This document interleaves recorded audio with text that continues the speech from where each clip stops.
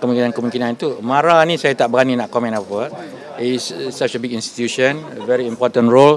So let the Prime Minister make the the announcement. Do you think that the, the, the um, I mean uh, lebih sesuai is it suitable uh, Mara? Yeah, there, there is a component of Mara that handles entrepreneur, you know.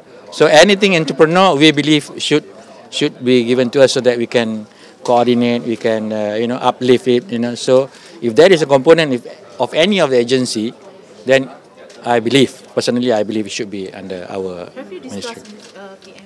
Uh, my minister have, yeah, uh, he has done that. Yeah? So it's just a matter of uh, time before he make the announcement. Yeah. Thank you. What is Yeah. currently the agency under your purview at the moment? What? The direct agency under your purview at the moment? Well, again, uh, we we have uh, some indication, but I'm not at liberty to to announce. Yeah. And so far, um, what is the allocation given to start up the new ministry? Uh, we we don't have an allocation yet because we are we are a new ministry.